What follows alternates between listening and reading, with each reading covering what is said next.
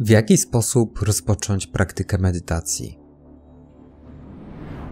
Zacznij od postanowienia, że chcesz zacząć to robić.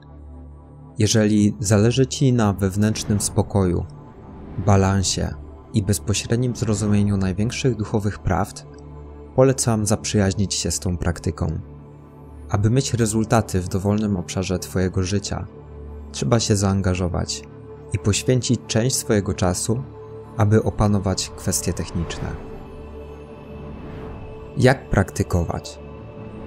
Usiądź do medytacji w wyznaczonym miejscu o wyznaczonej porze z przygotowanym stoperem. Przyjmij odpowiednią postawę. Jeżeli medytujesz na siedząco, usiądź wygodnie na podłodze, poduszce, macie lub krześle. Jeżeli na leżąco, połóż się na czymś płaskim, co umożliwi Ci bycie całkowicie uważnym w chwili obecnej, tak abyś nie przysypiał. Włącz stoper. Nastaw stoper na odpowiednią długość czasu. Polecam zamknąć oczy do medytacji. Jeżeli wolisz mieć je otwarte, to też jest w porządku. Stań się uważnym obserwatorem doświadczenia i pozostań nim przez całą długość praktyki medytacji. Skup się na wszystkich percepcjach, doznaniach zmysłach. Wybierz swoją praktykę. Jeżeli wybrałeś zazen, dostrzeż, że każda myśl przychodzi z pustej obecności, która nie ma kształtu i formy, a następnie w niej same się rozpuszcza. Nie staraj się na siłę koncentrować na tej pustce. Po prostu dostrzeż to, że pustka i myśli idą ze sobą w parze. Przyglądaj się wszystkiemu takim, jakie jest. Jeżeli wybrałeś Vipassanę, Dostrzeż rytm swojego oddechu i skoncentruj się na jego przepływie.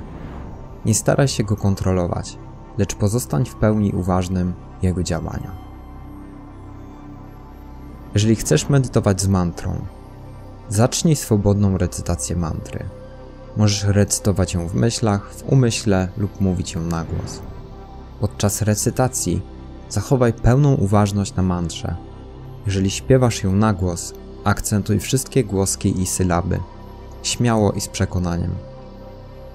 Dostrzeż swoje odczucia w ciele, nacisk pośladków o siedzenie, nacisk stóp o podłoże.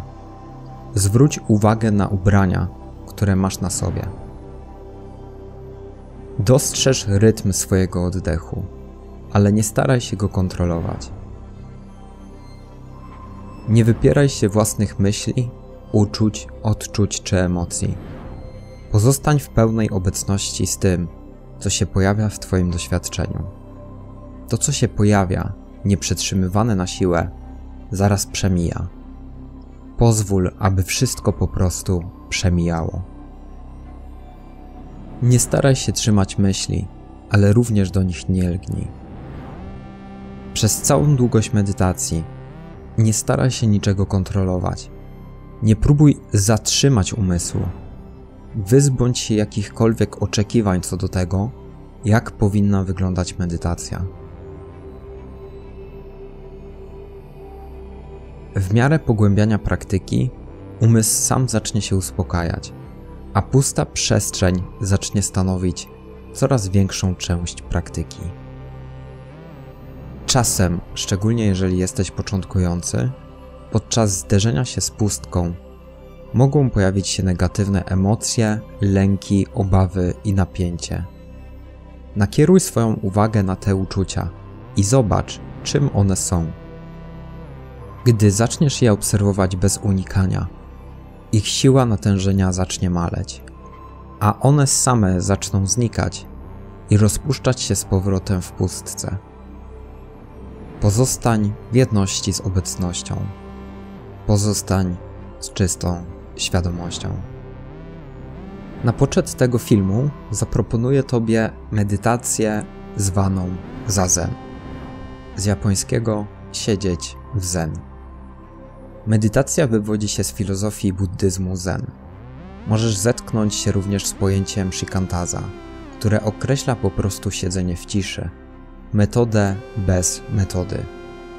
Polega na uważności i praktykowaniu obecności, pozostając z tym, co jest. Poprzez proste siedzenie obserwację umysłu i porzuceniu kontroli i przywiązania, umysł zaczyna się uspokajać, co pogłębia uważność i wgląd w naturę niesubstancjonalności świadomości.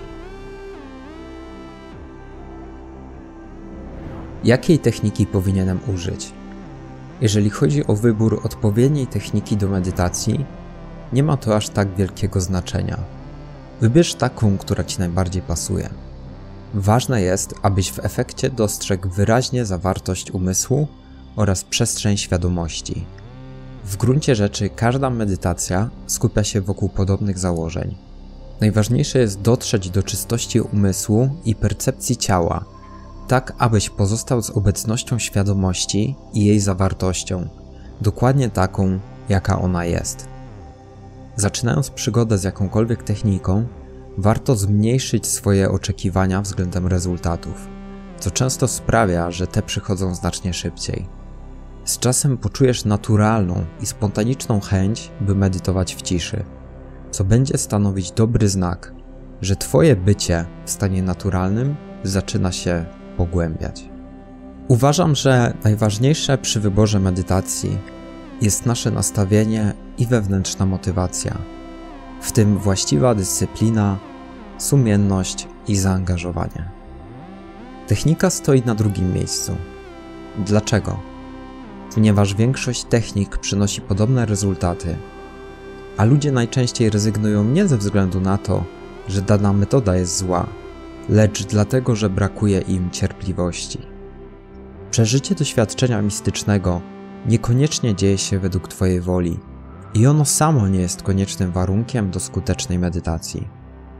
Podobnie, jeżeli chodzi o oświecenie, ono zawsze przychodzi czysto spontanicznie i to w najmniej spodziewanym momencie. Nie chcę, abyś rozpraszał się oczekiwaniami jakichś efektów. Możesz rozpoznać obecność świadomości już teraz, pogodzić się z własną śmiercią, zapomnieć o sobie, zatracić w tu i teraz, a Twoja uwaga zapadnie się spontanicznie w obecności, pozostawiając Cię z poczuciem niesubstancjonalności doświadczenia. I wcale nie trzeba do tego setek godzin medytacji, choć nie ukrywam, jest to dość rzadkie. W większości przypadków tak się nie dzieje od razu i praktyka jest wskazana choćby po to, aby wyćwiczyć sprowadzanie uwagi do wnętrza swojego bycia i uniezależnić ją od warunków zewnętrznych.